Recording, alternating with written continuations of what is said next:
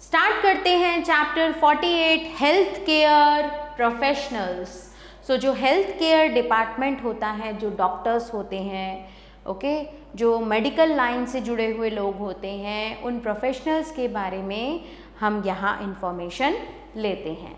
A doctor is a person whom we rely upon for treating our illness.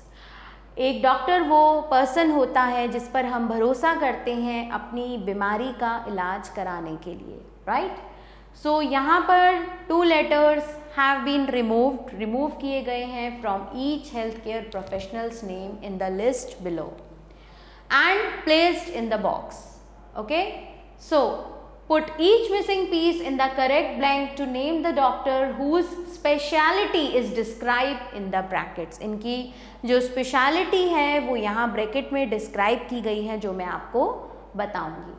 So number one पर doctor who take care of children.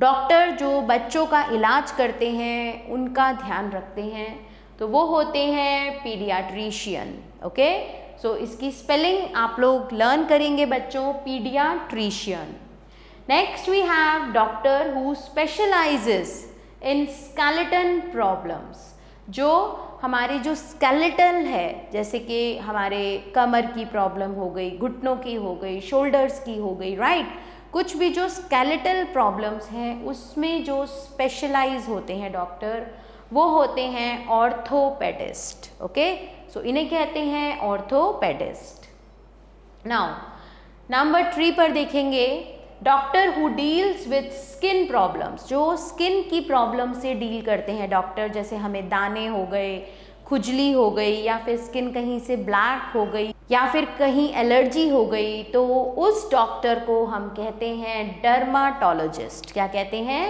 Dermatologist next we have doctor who specialises in mental disorders जो हमारे मानसिक disorders मानसिक जो परेशानियाँ हमें हैं जैसे हम डिप्रेशन में हैं या स्ट्रेस में हैं, जो उसे ट्रीट करने में स्पेशलाइज्ड हैं, उन्हें हम कहते हैं साइकियाट्रिस्ट ओके सो वो होते हैं psychiatrist now doctor who specialises in child birth doctor जो बच्चे को जन्म देने में, जन्म करवाने में स्पेशलाइज्ड होते हैं, वो होते हैं ऑब्स्ट्रीशियन ओके वो डॉक्टर होते हैं ऑब्स्ट्रीशियन आगे चलते हैं नंबर सिक्स पे देखेंगे। Doctor who deals with nervous system जो हमारे नर्वस सिस्टम के साथ डील करते हैं मतलब ब्रेन रिलेटेड जो प्रॉब्लम्स होती हैं राइट right? सो so, वो डॉक्टर होते हैं न्यूरोलॉजिस्ट। क्या कहते हैं उन्हें? Neurologist. Person who helps doctor give emergency treatment person जो डॉक्टर की हेल्प करता है एमरजेंसी ट्रीटमेंट देने में तो वो होता है paramedic okay now person who is a nutrition specialist जो एक न्यूट्रिशन स्पेशलिस्ट होता है, जो हमें बताता है कि हमें क्या डाइट लेनी चाहिए, हमें क्या नहीं खाना चाहिए, क्या खाना चाहिए, वो डॉक्टर होता है, वो पर्सन होता है न्यूट्रिशनिस्ट ओके तो चलिए आगे चलते हैं।